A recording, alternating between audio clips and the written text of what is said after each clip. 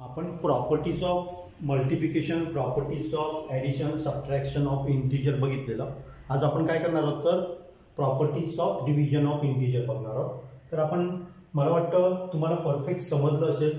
जर आपण प्रॉपर्टीज वापरून जर मल्टिप्लिकेशन किंवा डिव्हिजन केलं तर मोठमोठी गणितं आपल्याला इझिली करता येतात. हे आपण बघितलेलं. आणि मला वाटतं परफेक्ट तुमचं झालेलं असेल. तर हे तुम्हाला कठीण काहीच वाटणार नाही आहे तर पहिल्यांदा आपण बघूया क्लोजर क्लोजर पॉसिबल आहे का बघूया? समजा आपल्याला काय करायचंय आपण परफेक्ट बघूया. म्हणजे मी जेव्हा सोडवतो ना तेव्हा तुम्ही परफेक्ट बघा. म्हणजे मी काय करतो ऍक्च्युली क्लोजर म्हणजे काय? हे तुम्हाला समजतं का परफेक्ट बघा? समजा मी काय केलं? एट डिवायडेड बाय फोर केलं. आन्सर काय येतं? टू येतं. आता समजा हा नंबर काय? इंटिजर झाला म्हणजे क्लोजर आपण म्हणू शकतो का? म्हणू शकतो. आता तर क्लोजर काय झाला? म्हणू शकतो. पण मी समजा दुसरा घेतला. एखादा नंबर मी असा घेतो. एट डिवायडेड बाय थ्री करतो. एट डिवायडेड बाय थ्री म्हणजे आपल्याला काय येणार बघा? की एट डिवायडेड बाय थ्री म्हणजे आपला आन्सर काय येणार? एट डिवायडेड बाय थ्री असं येणार आहे. किंवा ते फ्रॅक्शनमध्ये येणार आहे. थ्री टू जा सिक्स झाले असं येणार आहे. हा आपला इंटिजर आहे का नाही आहे टू पॉईंटमध्ये येतं. त्यामुळे आपण काय म्हणू शकणार नाही? इंटिजर हा क्लोज नसतो अंडर डिव्हिजनमध्ये क्लोज नसतो. म्हणजे ती प्रॉपर्टी त्याला लागू नाही जसं मल्टिप्लिकेशन आणि ॲडिशनला म्हणजे अधिक आणि गुणाकारला लागू होती तशी हे काय नाही आहे लागू नाही आहे म्हणजे दोन इंटिजरचा जर आपण भागाकार केला पूर्णांक संख्येचा भागाकार केला तर येणारी संख्या इंटिजरच असेल असं आपण सांगू शकत नाही. त्यामुळे काय नसणार आहे? क्लोज अंडर डिव्हिजन नसणार आहे. क्लिअर समजलं? हे क्लोज अंडर म्हणजे उलटं सुलटं आपण करू शकत नाही. जसं आपण ॲडिशन आणि मल्टिप्लिकेशनमध्ये करत होतो तसं इथे करू शकत नाही. दुसरं आपण बघणार आहे कम्युटेटिव्हिटी म्हणजे काय? तर समजा आपण असं केलं eight divided by fourth eight घेतो मी. तर आन्सरमध्ये टू आलं ते मी असं केलं तर त्यांचा आन्सर बरोबर येणार का? फोर डिवायडेड बाय एक केलं तर काय येणार? आहे हाफ येणार आहे.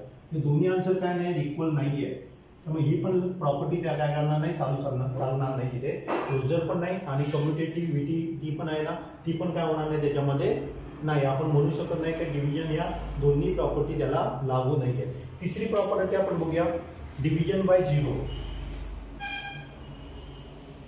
division by zero म्हणजे समजा ए नंबरला जर आपण झिरोने मल्टिप्लाय डिवाइड केलं ना त्याला अनडिफाईन म्हणतात. नॉट डिफाईन म्हणजे आपण नॉट डिफाईन हे डिफाईन करू शकत नाही म्हणून लिहिणार आपण. एने जर आपण काय केलं डिवाइड केलं, तर आपण काय म्हणतो ते? नॉट डिफाईन म्हणजे आपण झिरोने कुठल्याही नंबरला काय करू शकत नाही डिवाइड करू शकत नाही. म्हणून त्याला काय म्हणणार आपण? नॉट डिफाईन म्हणणार आहे. दुसरी बघूया आयडेंटिटी काय समजा एखाद्या नंबरला मी वनने डिवाइड केलं. तर आपल्याला तो नंबर भेटतो. म्हणजे त्याची डिव्हिजन आयडेंटिटी काय झाली सांगा वन झाली. समजा आपण नेगेटिव्ह नंबर घेऊया. सेवन्टी नॉट म्हणजे minus seventy five divided by one answer काय तो तोच नंबर आहे. म्हणजे आयडेंटिटी काय असणार आहे सांगा डिव्हिजन आयडेंटिटी काय झाली? वन असणार. जसं आपण जी मल्टिप्लिकेशन आयडेंटिटी मी तुम्हाला त्या लेक्चरमध्ये सांगायला विसरलो, बघ, लिहिलेलं. पण ती सांगायला विसरलो. मल्टिप्लिकेशनची मल्टिप्लिकेशन आयडेंटिटी काय असते? म्हणजे मल्टिप्लिकेशन समजा आपण फाय इंटू वन केलं. आन्सर काय येतं? फाय देतं. मायनस फाय इंटू वन केलं. आन्सर काय येतं? मायनस फाय देतो. तोच नंबर येत असेल तर त्याला काय म्हणतात? आयडेंटिटी म्हणतात.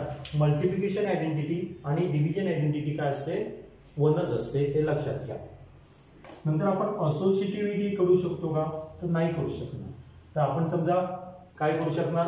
असोसिएटिव्हिटी म्हणजे आपण काय बघितलेलं? तर बघा याच्यामध्ये आपण काय बघितलेलं? मल्टिप्लिकेशनमध्ये ते पॉसिबल होतं. पण याच्यामध्ये ते पॉसिबल नाही. आपण एक उदाहरण घेऊया. समजा मी काय केलं? A divided by four divided by two केलं. पहिल्यांदा ब्रॅकेट मी इथे घालतो. आणि आपण काय करूया? A divided by four divided by two करूया. आणि ब्रॅकेट इथे घालतो. याचा अर्थ काय झाला? तर पहिल्यांदा हे मी करतो. माझा आन्सर काय आलं? Two eight divided by four two आला. डिवायडेड बाय टू म्हणजे काय आन्सर वन आलं. इथे आपण बघूया. याचा आन्सर काय आलं? फोर डिवायडेड बाय टू काय आलं? टू आलं. आणि एट डिवायडेड बाय टू आपला आन्सर काय येतं? Four one is equal to four आहे का? नाही आहे आपण असोसिएटिव्हिटी पण काय होणार नाही त्याला लागू पडणार नाही. फक्त कुठलं आपण बघू शकतो सांगा? डिव्हिजन बाय झिरो आणि ॲडिटिव्ह थोड्या प्रॉपर्टी कशाला लागतात? तर आपल्या डिव्हिजनला डिव्हिजन ऑफ इंटिजनमध्ये ह्या दोन प्रॉपर्टी चालू शकतात. बाकीच्या चालू शकणार नाही. बाकीचे तुम्ही बाकी आपण जी काय उदाहरणं जर जशी बघितली ना तशीच आपण उदाहरणं ह्याच्यामध्ये पण सोडवणार आहोत. ते समजा आपल्याला काय करायचं आहे minus twenty divided by minus four करायचं झालं.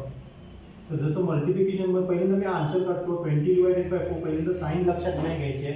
कुठलं प्लस आहे का माझं वजा आहे आपण बघायचं नाही आहे पहिल्यांदा आन्सर मी काढलं फाय नंतर साईन बघायचं. जसं मल्टिप्लिकेशनमध्ये आपण रूल काय बघितलेला? दोन्ही जर चिन्ह सेम असतील तर प्लस चिन्ह द्या. हे आपण मल्टिप्लिकेशनमध्ये बघितलं. सेम रूल इथे उपयोगी पडतात बघा. जर दोन्ही चिन्ह काय असतील सेम असेल तर आपण काय करणार आहे? प्लस समजा हे उदाहरण मी असं घेतलं twenty divided by four answer येतं पाचच येतं फायच येतं. पण दोन्ही चिन्ह काय? व- एक वजा इथे काय नाही म्हणजे काय? वजा प्लस आहे. दोन्ही चिन्ह वेगळी असेल तर आपण काय करणार आहे? आन्सर नेगेटिव्ह देणार आहे. साईन काय देणार आहे? वजा चिन्ह देणार आहे. मायनस साईन देणार आहे. क्लिअर समजलं? किंवा समजा असं असेल twenty divided by minus four. इथे पण चिन्ह नाही म्हणजे काय आहे प्लस आहे. त्याचं पण आन्सर फाय आहे. पण दोन्ही चिन्ह वेगळी असेल तर आपण काय करणार आहे? मायनस साईन देणार आहे. किंवा समजा चौथा ऑप्शन काय?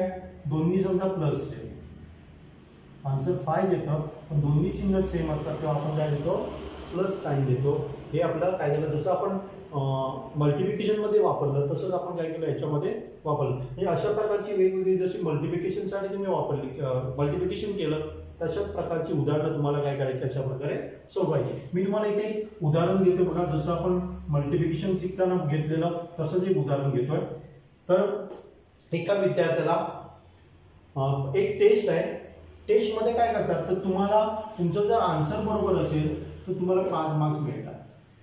एक टेस्टमध्ये आन्सर बरोबर असेल तर पाच मार्क मिळतात आणि आन्सर चुकीचं असेल तर तुमचं काय होतं? दोन मार्क काय होतात? कट होतात. तर एका टेस्टमध्ये दोन विद्यार्थ्याला किती मार्क्स पडले? ते एक उदाहरण मी इथे दिलेलं आहे तर एका मा एकाला काय पडले? तीस मार्क्स पडले. आणि त्याने किती करेक्ट सोडवलेली? तर टेन म्हणजे दहा दहा प्रश्न त्यांनी बरोबर सोडवलेले. हे काय होते? करेक्ट दहा क्वेश्चन त्याची काय होते? करेक्ट होती. त्याची उत्तरे त्यांनी काय केलेली? बरोबर होती. पण तरी पण त्याला किती मार्क्स पडले? थर्टी मार्क्स पडले. मग आपण कॅल्क्युलेट कसं करूया? तर त्याला बाबा किती त्याची बरोबर होती किती रॉंग करेक्ट हो-, दहा होती. तर रॉंग किती होते? ते आपण कॅल्क्युलेट करूया. तर त्याने दहा करेक्ट होती म्हणजे त्याला किती मार्क्स पडायला पाहिजे? टेन इंटू फिफ्टी करेक्ट सगळे किती काय पडायला पाहिजे होते? पन्नास मार्क्स त्याला पडायला पाहिजे होते. पण त्याची त्याला मार्क्स किती पडले? ट्वेंटी पडले. मग याच्यावरनं आपण काय करू शकतो सांगा? त्याची चुकीची किती होते? फिफ्टी मायनस थर्टी कारण थर्टी मार्क्स त्याला पडले ॲक्च्युली किती पडायला पाहिजे होते? पन्नास पडायला पाहिजे होते. पण थर्टी पडले म्हणजे किती चुकीची झाली त्याची? ट्वेंटी मार्क्स त्याला चुकीचे पडले. त्यामुळे त्याचे मार्क्स काय झाले? कट झाले. आता आपण काय बघितलं?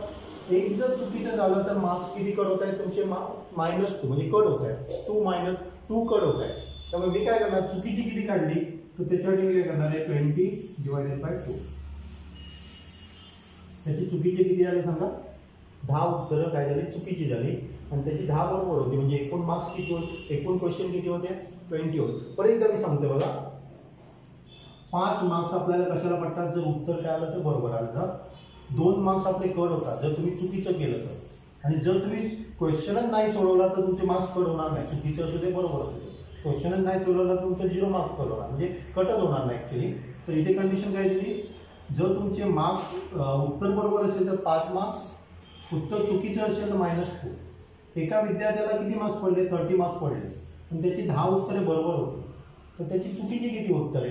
हे आपल्याला सांगायचे तर मी काय केलं बघा दहा उत्तरं बरोबर होती म्हणजे त्याला किती मार्क्स पडायला पाहिजे होते? पन्नास मार्क्स पडायला पाहिजे होते. पण त्याला तीस मार्क्स पडले कारण त्यांनी काय केलेली? बाकीची उत्तरं चुकीची गेली त्यामुळे त्याचे मार्क्स काय झाले? कट झाले. आता पन्नास मार्क्स पडायला पाहिजे होते पण त्याला किती पडले? थर्टी मार्क्स पडले. म्हणजे त्याला किती कट झाले त्याचे? ट्वेंटी मार्क्स काय झाले? कट झाले. आता आपण बघितलं का एका मार्क्स जर चुकीचं असेल तर टू मार्क्स काय होतात? कट होतात त्याचे. त्यामुळे ट्वेंटी मार्क्स जर कट झाले तर किती क्वेश्चन त्याचे चुकीचे होते? तर ट्वेंटी डिवायडेड बाय टू केलं. आपल्याला काय मिळालं? टेन मिळालं. याच्यावर मी काय सांगू शकतो? तर दहा उत्तरं त्याची काय होती? चुकीची होती. आता दुसरं एक उदाहरण देतो बघा. तर याच्यामध्ये काय केलं आपण? म्हणजे इथे आपण काय वापरले सांगा तर डिव्हिजन वापरलं बघा. मल्टिप्लिकेशन इथे काय आपण डिव्हिजन वापरलं. मल्टिप्लिकेशन आपण बघितलं क्वेश्चन तर इथे काय केलं दुसरं? एका विद्यार्थ्याला ट्वेल्व मार्क्स पडले मायनस ट्वेल्व त्याची बरोबर किती होती? चार करेक्ट होती. त्याला मार्क्स किती पडले? मायनस ट्वेल्व पडले. त्याची उत्तरे बरोबर किती होती? चार बरोबर होती. आता चार बरोबर होती म्हणजे त्याला चारला किती मार्क्स पडले? एकाला बरोबर त्याला पाच मार्क्स पडतात. म्हणजे त्याला ॲक्च्युली मार्क्स पडायला पाहिजे होते ट्वेंटी करेक्ट असते जर तिथं कट झाले नसते तर. पण त्याचे मार्क्स किती पडले त्याला? मायनस ट्वेल्व पडले. त्यामुळे मी काय करणार आहे याच्यामध्ये आणि त्याच्यामध्ये डिफरन्स किती आहे ते बघणार आहे. आधी काय इथे लक्षात घ्या बघा इथे सगळं काय नेगेटिव्हमध्ये आहे. हे आन्सर आहे ते काय झालं? नेगेटिव्हमध्ये आहे. त्याला ट्वेंटी पाहिजे पडायला पाहिजे होते. पण त्याला पडले किती सांगा? मायनस ट्वेल्व पडले. त्यामुळे ॲक्च्युली काय झालं? ॲक्च्युली काय झालं बघा इथे? इथे मी डिफरन्स करतो मायनस मायनस ट्वेल्व म्हणजे काय झालं सांगा? मायनस मायनस प्लस झालं म्हणजे थर्टी टू आता थर्टी टू म्हणजे thirty two divided by two म्हणजे त्याचे चुकीचे किती झाले समजा? सोळा मार्क सोळा त्याचे क्वेश्चन काढलेले चुकीचे आहे इथे कन्फ्यूज होऊ नका होता कारण हे निगेटिव्हमध्ये आहे. म्हणजे कुठल्या बाजूला यायला पाहिजे ते? आपण जर नंबर लाईन कन्सिडर केली असेल तर हे पॉझिटिव्ह येतं आणि हे आपलं निगेटिव्ह येतं. म्हणजे पहिल्यांदा मायनस यायला पहिल्यांदा आपल्याला किती झिरोपर्यंत जायला पाहिजे. वीसपासून झिरोपर्यंत गेलो. त्याच्या फाटीमध्ये जायला पाहिजे बारा. म्हणजे टोटल किती आले सांगा? थर्टी त्यामुळे मी डिफरन्स करण्यासाठी काय केलं होता ट्वेंटी मायनस मायनस ट्वेल्व लक्षात आहे? मगाशी काय होतं? फिफ्टी मायनस थर्टी होतं आपलं. आता इथे काय हे निगेटिव्ह आहे. त्यामुळे मला आन्सर काय मिळणार आहे? थर्टी टू टू त्याचे मार्क्स काय झाले? कट कारण तो पॉझिटिव्हमध्ये नाही आहे. तर त्याचा आन्सर काय येतं? त्याचे मार्क्स आहेत ते निगेटिव्हमध्ये येतात मायनसमध्ये येतात. त्यामुळे मी काय केलं बघा? ट्वेंटी मायनस मायनस ट्वेल्व केलं. त्यामुळे आन्सर किती मला? थर्टी टू मार्क्स त्याचे कट झाले. आता थर्टी टू मार्क्स जर कट झालेलं असेल तर डिवायडेड बाय एका मार्क्सला एका क्वेश्चनला किती मार्क्स कट होतात? टू कट होतात. त्यामुळे त्याचे किती क्वेश्चन चुकीचे झाले असणार? Thirty two divided by two म्हणजे काय असणार आहे? सिक्स्टीन त्याचे क्वेश्चन काय असणार आहे? चूक असणार आहे. कारण एका क्वेश्चनसाठी दोन मार्क्स काय केले जाते? कट मला फक्त तुम्ही हे लक्षात घ्या. इथे कन्फ्यूज होऊ नका. मायनस ट्वेल्व मार्क्स आहेत इथे काय व्हायचं नाही कन्फ्यूज व्हायचं नाही. अशा प्रकारची दोन उदाहरणं तुम्ही सोडवली की तुमचं ते परफेक्ट होऊन जाईल. तर मायनस म्हणजे काय येणार आहे? या साईडला येणार आहे. वीस त्याच्यातनं जायलाच पाहिजे आणि ट्वेल्व जायला पाहिजे.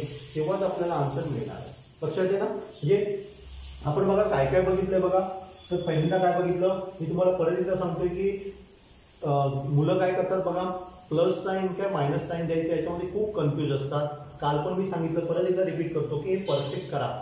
आपल्याला मी सांगितलं की महाराष्ट्र बोर्डमध्ये एवढं डिटेल नाही आहे तरी पण आपल्याला का कराय करायचं आहे तर फ्युचरमध्ये आपल्याला नववी दहावीमध्ये सुद्धा associativity identity division by zero हे सगळं काय करताय? आहे त्यामुळे आपल्याला इथेच कंप्लीट करायचं आहे आणि हे सगळं तुम्हाला सी बी एस ई बोर्डसाठी चालू उपयोगी पडू शकेल. हे जर तुम्ही कुठले ऑलिम्पियाड वगैरे देत असाल तर त्याच्यासाठी सुद्धा हे तुम्हाला काय पडेल? भयानक उपयोगी पडेल. म्हणजे नुसतं परीक्षेसाठी करू नका. तर तुम्ही काय करा ते परफेक्ट करा जेणेकरून फ्युचरमध्ये आपल्याला सुद्धा काय होईल? एकदम एकदम सोपं आहे इथे आपण काय करूया? एवढा पण भाग घेऊया. याच्याशी रिलेटेड बघा आपण उदाहरणं सोडवा खूप. म्हणजे डिव्हिजन करून वेगवेगळ्या प्रकारची उदाहरणं तुम्ही सोडवा जेणेकरून तुमचे कंप्लीट होऊ शकेल. आणि इथे आपला हा चॅप्टर काय होतोय? संपतोय. आपण जवळजवळ जवळजवळ सात आठ दिवस आपण बघतोय की याच्याशी रिलेटेड आपण जास्तीत जास्त कन्सेप्ट क्लिअर करण्याचा प्रयत्न करतो आहे आणि इथे आपला आपण काय करतो हा संपवतो आहे याच्याशी रिलेटेड खूप उदाहरणं सोडवा जेणेकरून तुमचं काय होऊ जाईल? ते परफेक्ट होऊन जाईल.